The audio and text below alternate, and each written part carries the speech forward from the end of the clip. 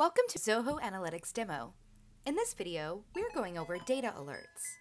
To make informed business decisions, you need to know when significant changes happen in your business data. Manually monitoring a huge data set, which continues to grow every day, is a tedious job. It's easy to miss vital information that needs your attention. Data alerts help you with this. They alert you about important business changes, which you set up as conditions, and enable you to take appropriate, timely action to seize opportunities. You can create data alerts for charts, pivot views, and summary views. Please note that you cannot apply alerts when advanced summary functions are applied on columns, or when a report formula is used. Let's see how to set up a data alert for a chart. Data alerts help you monitor the data group in a report. In charts, each data point is a data group. First, open the chart that you want to monitor. Click the Alert icon and then Create Alert. The Create Alert dialog will open. Now, specify an alert name. We're going to use Sales Alert here. Columns involved in the report with the respective function applied over them will be listed in the Conditions section. Choose the columns apply the filter function, and specify the value to be met. You can specify any number of conditions using the Add Conditions link. Data alerts allow you to specify logical or, and, and conditions.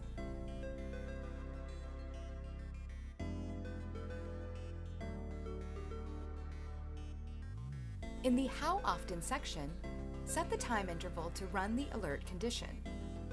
An alert will be triggered every time your data meets the conditions specified.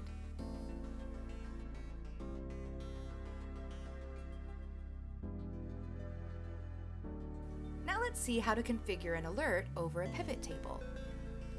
In pivot tables, you can monitor the grand summary, the row or column subtotal, and the data cells. Let's see how. Open the alert dialog.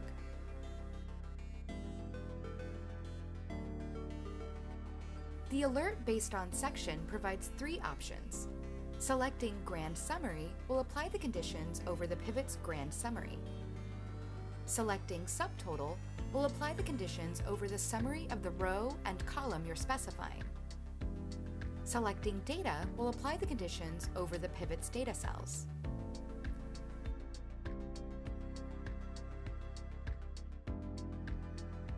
Now, specify your condition. Here, we set it up to alert us when the current year sales varies from a range.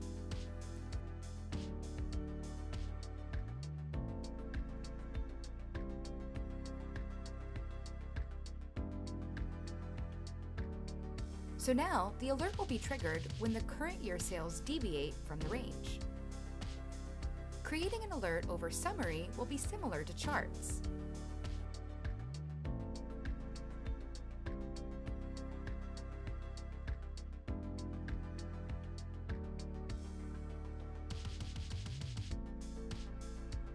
Now you've configured the alert conditions. What do you want to do when the conditions are met? Well, Zoho Analytics allows you to perform a set of actions. Let's see how to do this. In the Actions to Perform section, select the action that you want. You can select multiple actions. Select Email to send an email. You can send the email from Zoho Analytics notification email address, your account email address, or the org email that you've configured. Specify who you want to notify in the To email ID. Enter your email subject and message in the corresponding fields. You can send a copy of the report if the data size is below 15 megabytes by selecting the Include Report checkbox. Specify whether to send it as an inline content or as an attachment. Now select the In-App Notification to configure a notification inside Zoho Analytics. You can choose to notify administrators and shared users by selecting the corresponding checkboxes. Select Slack Message to send a message in the Slack channel. Provide your Slack channel webhook URL to post the message. In Message Type, select Standard and enter the subject and message in the corresponding fields. Or select Custom. Create your custom message card and paste the JSON code in the field given. Select Microsoft Teams message to send a message in an MS Teams channel. Provide your channel webhook URL to post the message. In message type, select Standard and enter the subject and message in the corresponding fields. Or select Custom. Create your custom message card and paste the JSON code in the field given. Select Webhook Request to initiate a webhook-based action. Enter the webhook URL that needs to be invoked. Specify whether the URL type is post, put, or patch.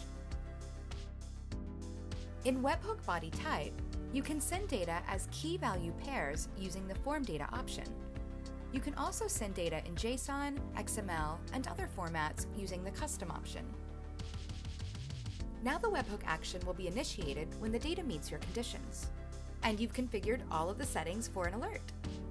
Click Save. When your data meets your conditions, the actions that you've configured will be triggered. Thanks for watching this demo.